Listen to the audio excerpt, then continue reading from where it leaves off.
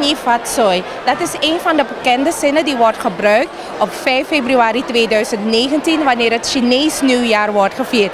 Ik kom niet ontzang wordt het uitgebreid gedaan. Het Nationaal Informatie Instituut neemt u mee naar de viering van het nieuwjaar. 新年到，新年好，温伟伟祝福你，阖家老少乐安康，生意兴隆步步高。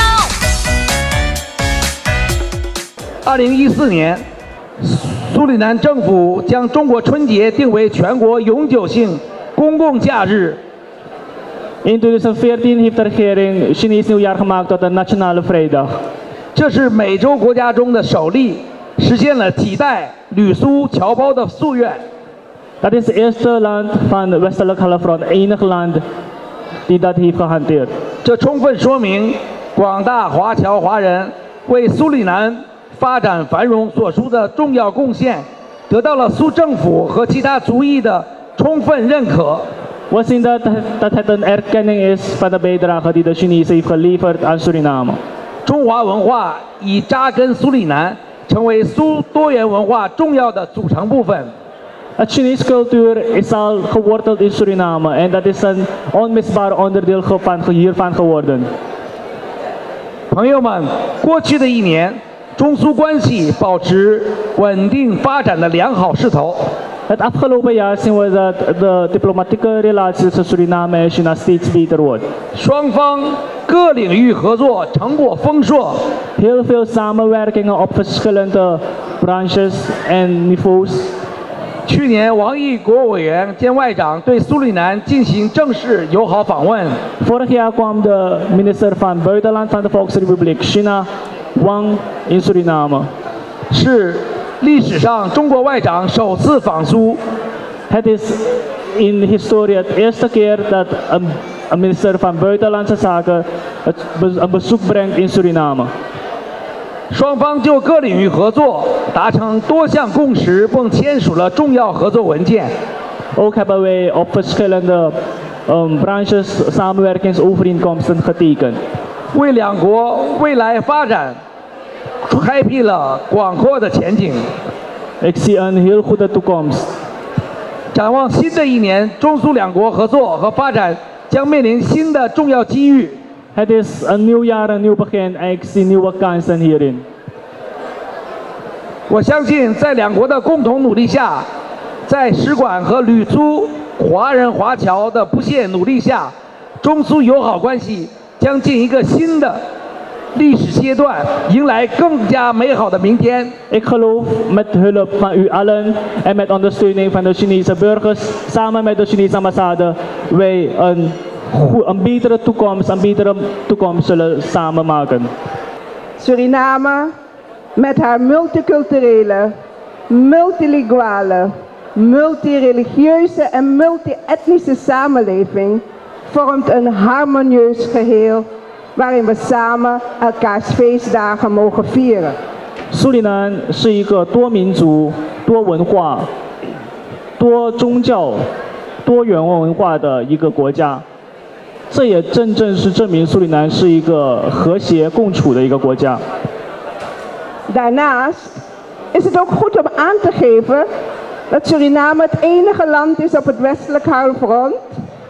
dat het Chinees nieuwjaar als nationale vrije dag heeft erkend.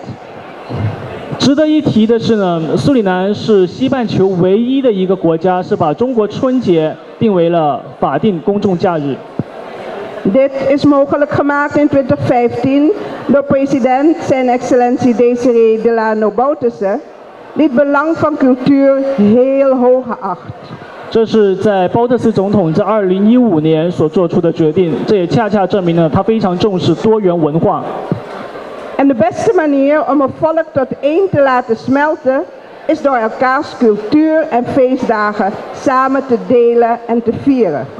让那么多的民族可以融为一体。我们需要做的就是要把所有的民族都都放在一个荣缸里面，让大家融在一起，庆祝对方的节假日。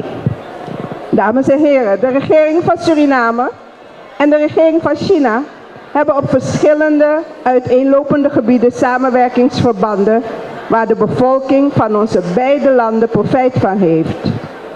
女士们、先生们，中国和苏里南在很多的层面上都有合作的协议，以至于双双方的国家的人民都能够受益。 Ook ondersteunt de regering van Suriname het One Belt One Road initiatief van president Xi Jinping van China, omdat dit uiteindelijk industrialisatie, internationale handel en dienstverlening zal stimuleren. Dames en heren, namens de president van de Republiek Suriname, zijn excellentie Desiree Delano Bouterse en de First Lady mevrouw Ingrid Bouterse-Walding, de regering en de Surinaamse bevolking. Namens mezelf en mijn familie wens ik u allen het beste toe in het nieuwe jaar. 最后，仅代表苏里南政府、苏里南总统包特斯先生及夫人，代表我个人以及我的家人，代表苏里南的呃政府、苏里南人民，向大家祝愿，在新的一年里万事如意。 Ik wens u, ik wil een toast uitbrengen op voorspoed en welzijn ten behoeve van u en uw geliefde. Sing Chung Kwai Lu. 新春快乐！新年大家和欢喜喜，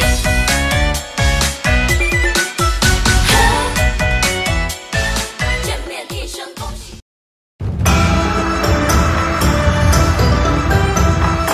Ter gelegenheid van het Chinees nieuwjaar heeft de oudste Chinese vereniging Fachao Sung Fui een bijeenkomst georganiseerd in restaurant Ximin aan de Anton Drachtenweg. Aanwezig waren onder meer de vicepresident Ashwin Adin, DNA-voorzitter Jennifer Simons, de Chinese ambassadeur Li Guang en andere notabelen.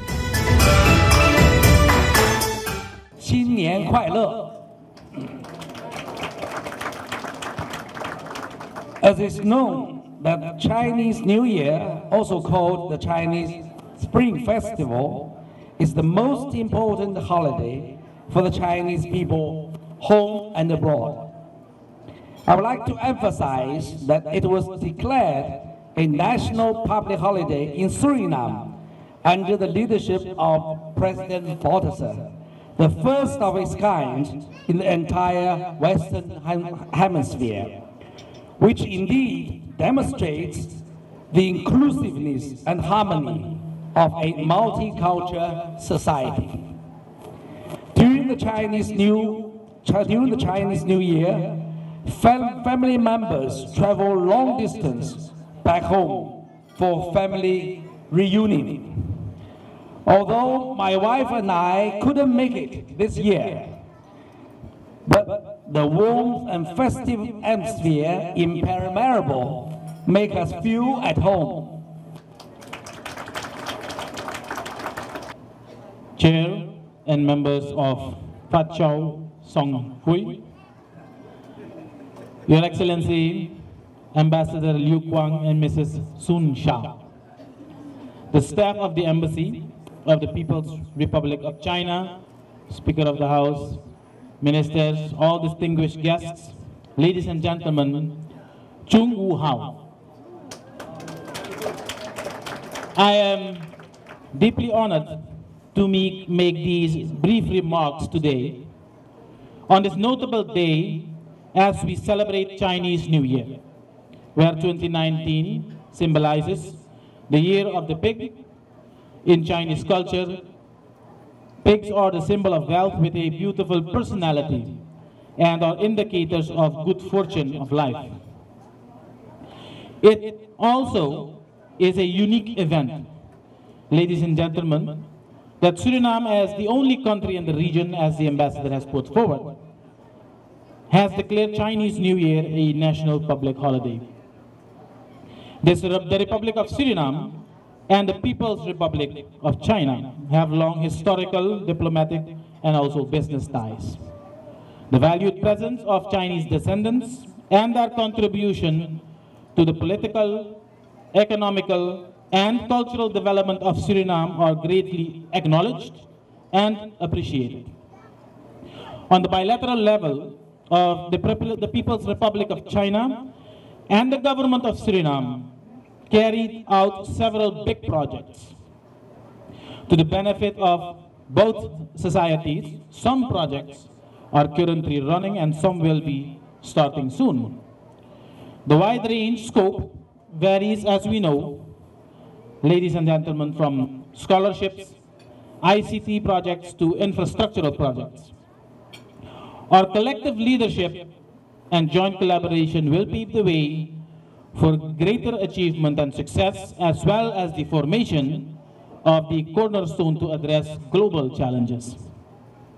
Excellency, the government of Suriname supports and welcomes the One Belt, One Road initiative of President Xi Jinping of the People's Republic of China because of its improvement of connectivity, of the expansion of international trade, and of economic growth and prosperity to the whole world population. Ladies and gentlemen, with regard to crime, I want to assure you the government of Suriname takes country-wide measures to improve safety. Late December 2018, the Safe City project was launched and only in Paramaribo 300 cameras were installed on 100 strategic locations. The government continues with Wanica and Albina now. This means that on 22 strategic locations, more than 60 cameras will be installed additionally. The Safe City operation is carried out from the command center where the police and other services monitor in real time and are ready to react when necessary. Already in January of this year, crime cases have been solved by the police substantially because of this new Safe City camera project. I was yesterday with the Minister of Justice and Police, and in the coming month we have the second initiatives where the mobility of the police will increase with at least 200 more mobile vehicles, motor cabs, and so on. A very strong incentive for the police. I am convinced that this new year will mark great achievements for our countries, while striving for further substantiate and substantiate our bilateral ties. Excellency, Mr. Ambassador, before I conclude, for this afternoon, I would like to make a gesture of goodwill to the Chinese community. The government, government of Suriname has decided to make a land surface of 50 hectares available for the Chinese community. The goal is one, part for religious reasons, to construct a Chinese temple, and for the other part, for ceremonial and burial purposes. If you are interested in the location where the land is, we can discuss the details. And after you decide, the Ministry of RGB will, uh, who is responsible for the land issuance, can make sure for the necessary provisions. Mr. Chair, I now propose toast to you, to the health of you and your valued organization, as well as each member of the Sudanese Chinese and Chinese community. Xin Chun 谢。